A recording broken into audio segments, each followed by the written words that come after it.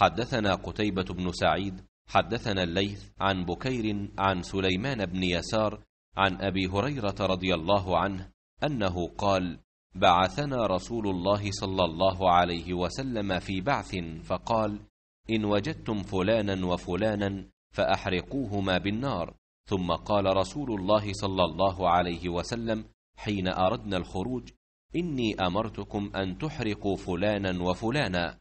وإن النار لا يعذب بها إلا الله فإن وجدتموهما فاقتلوهما.